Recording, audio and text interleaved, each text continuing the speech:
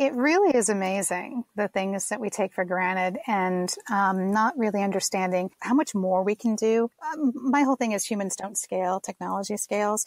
But if mm. you're utilizing technology in a smart way, you're able to scale your humans as well. The more capable you can make them with technology, then the more capable they are overall.